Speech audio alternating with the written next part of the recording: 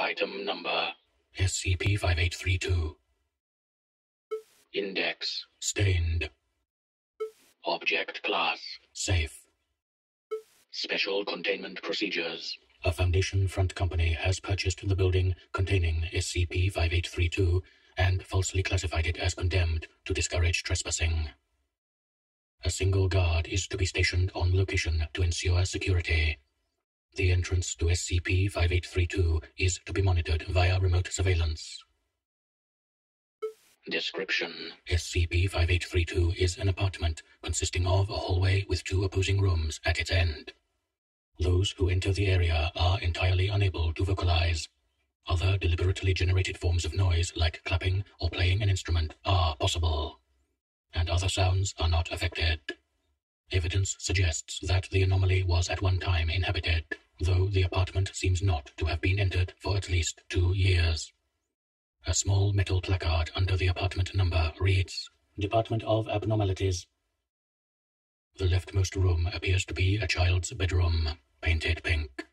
The paint has no anomalous properties, but contains dangerous amounts of lead and has peeled heavily. The contents of the leftmost room are listed below.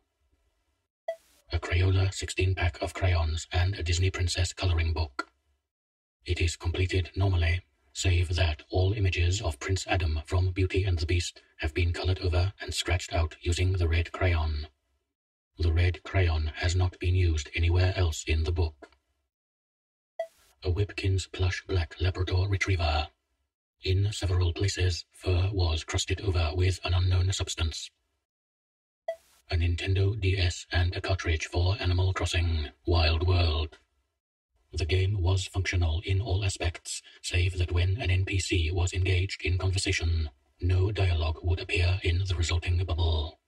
The player character's personal commentary on achievements or actions was also missing. Other text was not affected. Based on the presence of certain time-locked features in the game, it had been played continuously for at least nine months. A white wooden dresser. Contents of the dresser include a charm bracelet with one attached charm, a birthday cake with seven candles. Also found inside were several opened and partly emptied packages of Pull-Ups disposable training pants, and three identical Disney Princess t-shirts in a child's medium size. All three shirts are heavily stained. The rightmost room is a small bathroom with linoleum flooring. It contains a pink toothbrush and a tube of Crest children's toothpaste, as well as a plastic booster stool under the toilet seat. No toilet paper or other hygiene products were present. There is a large crack in the bathtub's sealant.